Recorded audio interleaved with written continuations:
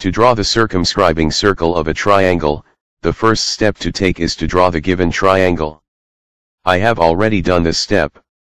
The next thing I will do is to label the triangle A, B and C. The next step to take is to bisect any two sides of the triangle. For this video I'm bisecting line BC and line AC.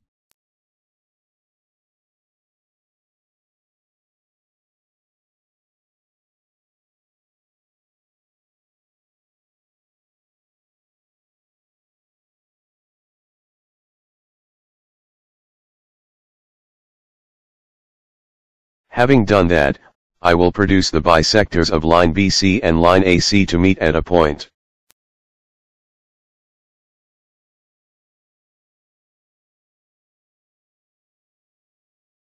The point where the bisectors intersect should be label O.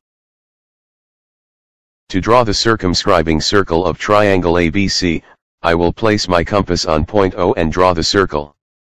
I will ensure that the circumference of the circle pass through the three corners of the triangle.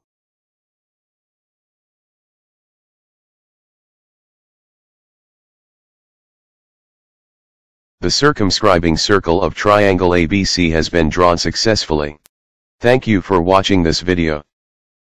Please subscribe to this channel. If you have any question or you are having challenges with your engineering drawing or technical drawing assignments, you can message me on WhatsApp.